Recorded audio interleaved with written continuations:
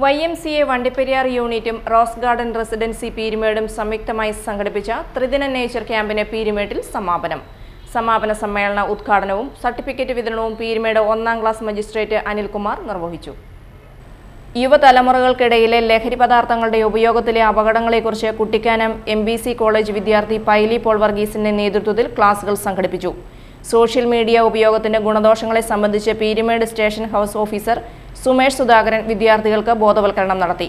വണ്ടിപ്പെരിയാറിന്റെ ആഭിമുഖ്യത്തിൽ നേച്ചർ ക്യാമ്പിൽ ഒരു ക്ലാസ്സിന് വേണ്ടിയിട്ട് ഒരു സോഷ്യൽ മീഡിയ റിലേറ്റഡ് ഒരു ക്ലാസ്സിന് വേണ്ടിയിട്ട് ഇവിടെ വന്നതാണ് അപ്പം ഒരുപാട് കാര്യങ്ങൾ നമ്മൾ സോഷ്യൽ മീഡിയ ആയിട്ട് ബന്ധപ്പെട്ടിട്ടും ഇലക്ട്രോണിക് ഡിവൈസുമായിട്ട് ബന്ധപ്പെട്ടിട്ടും നമുക്ക് പോലീസിന്റെ ഭാഗത്ത് നിന്ന് കുട്ടികളെയും മുതിർന്നവരെയൊക്കെ അറിയിക്കാനായിട്ടുണ്ട്. പക്ഷേ എങ്കിലും ഏറ്റവും പ്രധാനമായിട്ട് നമ്മൾ ഇവരോട് ഇപ്പോൾ ഇന്ന് ഡിസ്കസ് ചെയ്തത് ഒന്ന് ചൈൽഡ് പോണോഗ്രാഫി ആയിട്ട് ബന്ധപ്പെട്ടുള്ള പ്രശ്നങ്ങൾ പിന്നെ രണ്ട് നമ്മുടെ ഈ സൈബർ സ്കാമുണ്ട് പിന്നെ മൂന്ന് അപരിചിതരുമായിട്ടുള്ള കമ്മ്യൂണിക്കേഷൻസ് അത് വയ സോഷ്യൽ മീഡിയ ആണെങ്കിലും വേറെ ഏതെങ്കിലും രീതിയിലൊക്കെ ആണെങ്കിലും അപരിചിതരുമായിട്ടുള്ള കമ്മ്യൂണിക്കേഷൻസ് അതുവഴി ബന്ധപ്പെട്ടുള്ള സെക്ഷൽ എക്സ്പ്ലോയിറ്റേഷന് സാമ്പത്തികമായിട്ടുള്ള പ്രശ്നങ്ങൾ ഇങ്ങനെയുള്ള കാര്യങ്ങൾ മാത്രമേ നമ്മൾ ഇപ്പോൾ ഡിസ്കസ് ചെയ്തുള്ളൂ. കാരണം പിന്നെ ചെറിയ പിള്ളേരാണ്. അപ്പം എല്ലാം കൂടെ പറഞ്ഞു കഴിഞ്ഞാൽ അവർക്ക് കെയർ ചെയ്യല്ല. കുറച്ച് കാര്യങ്ങളൊക്കെയാണ് നമ്മൾ പറഞ്ഞത്. വേറെ ഒരു സമയത്ത് ഏതെങ്കിലുമൊക്കെ ഒരു സമയത്ത് ഇവർക്ക് ബാക്കിയുള്ള ക്ലാസ്സുകളിലൂടെയൊക്കെ ബാക്കിയുള്ള കാര്യങ്ങളും പറഞ്ഞു കൊടുക്കാമെന്ന് വിചാരിക്കുന്നു.